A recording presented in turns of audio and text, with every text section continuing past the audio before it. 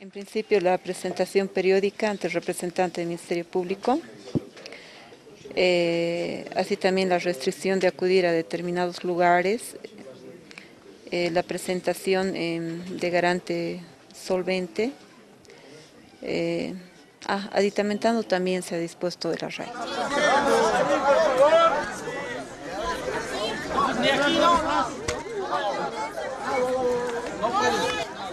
Después de 13 horas de audiencia, la jueza anticorrupción Claudia Castro determinó medidas sustitutivas para la alcaldesa del Alto Soledad Chapetón. La autoridad edil no podrá salir del país y deberá registrarse en la fiscalía cada 15 días durante el proceso de investigación.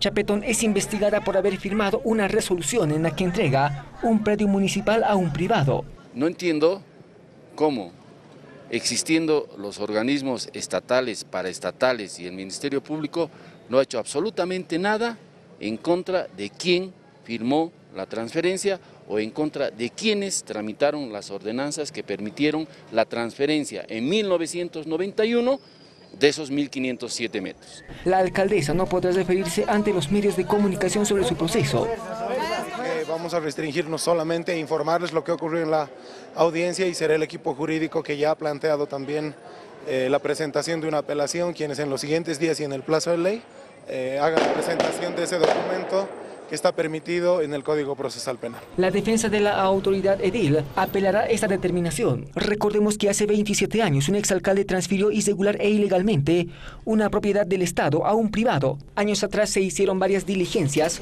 para recuperar estos predios. Sin embargo, la actual alcaldesa emitió una resolución a favor del privado, proceso por el que ahora la autoridad edil es procesada.